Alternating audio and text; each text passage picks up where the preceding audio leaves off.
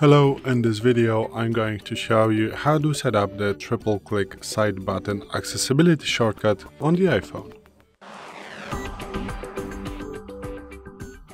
So today in front of me is the iPhone 12 with the iOS 17.4, but it really doesn't matter which iPhone you have or which version of the iOS you have, it is all going to work the same on every iPhone. So uh, now I do have by the triple click right here, one, two, three, the uh, live speech as you can see right now.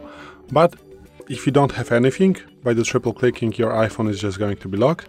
You can set it up in the assist uh, in the accessibility settings to get you to something else, for example. So what you want to do is to open settings. Then you want to swipe down a little bit and tap on accessibility once you are here, swipe to the very bottom and here you are going to find accessibility shortcut. So click on this one and here you have those accessibility shortcuts options. So you can set up for the uh, as you can see triple click the side button. So you know the locking button uh, to go for example to assistive access background sound classic invert color filters control nearby devices dim flashing lights. As you can see you have a lot of options right here. So maybe I'm going to use the classic invert of the colors and turn off the live speech. And also you can, uh, as you can see, set up a lot of options. So I'm just going to use it, uh, the one right here. So now if I'm going to triple click, I'm going to get inverted colors. One, two, three again. As you can see, this is working. So let's say I wanna add maybe the live speech also and get it right here.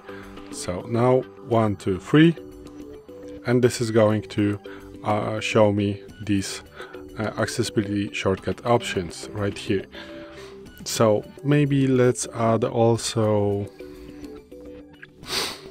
zoom, because why not? And maybe the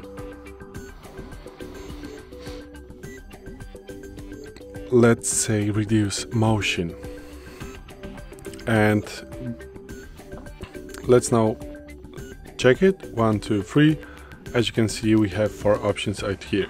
If you want to uh, change the uh, you know places of those shortcuts you can just uh, for example grab this little three lines so press and hold and uh, take it to the very bottom and now the re reduced motion is going to be in the top of the settings as you can see right now. So now we do have reduced motion so we do not have the uh, applications right now the animations, sorry.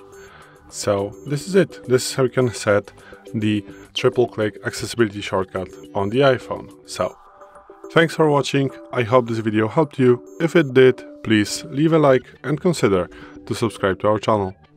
Bye.